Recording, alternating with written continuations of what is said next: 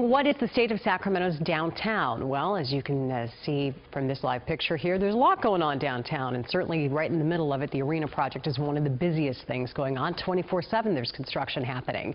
And that is likely going to be one of the main topics that the mayor brings up in the 17th annual State of the Downtown Breakfast today. KCRA 3's Mike Teselle is joining us now live from Memorial Auditorium. And what else is on the agenda? Well, there's a lot on the agenda as we speak. Uh, business leaders from around downtown Sacramento continue to flock here into Memorial Auditorium for the 17th annual State of Downtown Breakfast. And besides food, what's also on the menu, you ask? Well, how about Vegas? Money and momentum.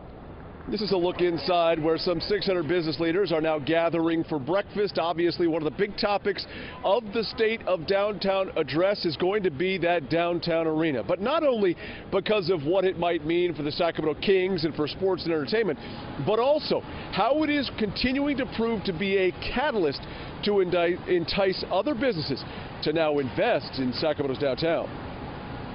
We've got incredible momentum when we look at downtown, and I think this event in its 17th year has highlighted really the uh, the road for the following year and what's taken place. And when we look at the development of the new arena, the potential for MLS to come to the rail yards, we're seeing economic interest in people locating their offices to buying buildings. I mean, uh, we have, uh, I think, come a long way to make downtown relevant.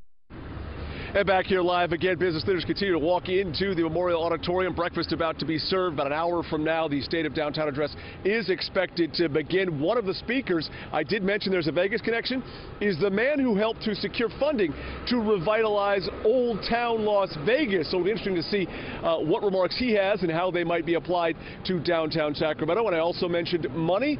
There's a chance to win a lot of it.